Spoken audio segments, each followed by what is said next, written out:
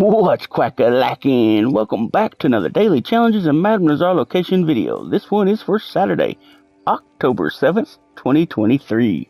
You can find Madam Nazar today in the Great Plains, Preferred Fast Travel, Manzanita Post.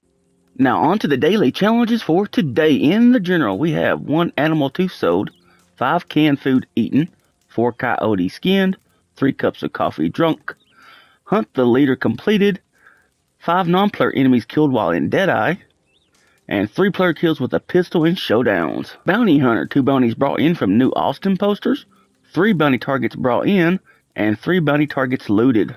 Trader, 20 carcasses donated within 10 minutes, two goods sold to a distant buyer, and two resupply missions completed. Collector, three arrowheads found, five bird eggs found, and three family heirlooms found.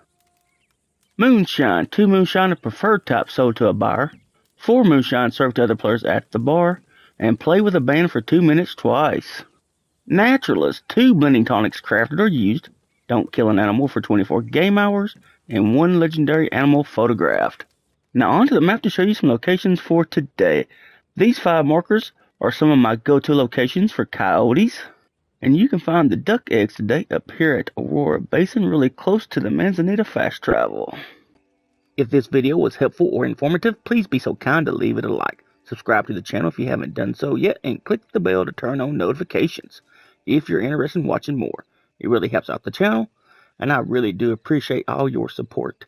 Also, if you have any questions or feedback, just leave a comment in the comment section of the video. I hope everyone has a great day Good luck on your daily challenges, and I'll see you next time. Dirty Ducky out. Bye bye.